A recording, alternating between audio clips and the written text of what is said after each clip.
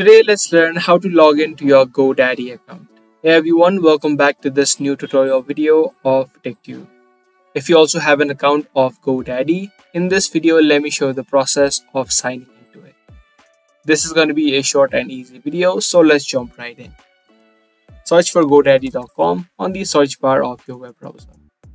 Once you search for this, it's going to take you to the website.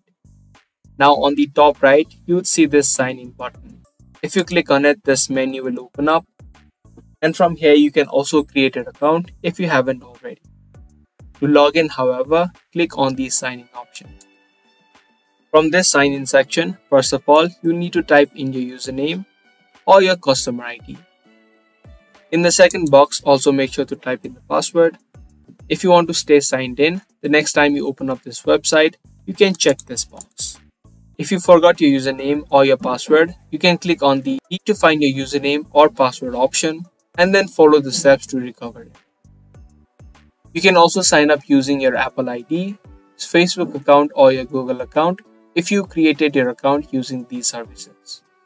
Once you typed in both of these information, click on sign in and you'll be successfully signed in to your GoDaddy account. If this video was helpful to you, be sure to subscribe, share and also give this video a thumbs up. That's pretty much it for today's video. Thanks for watching.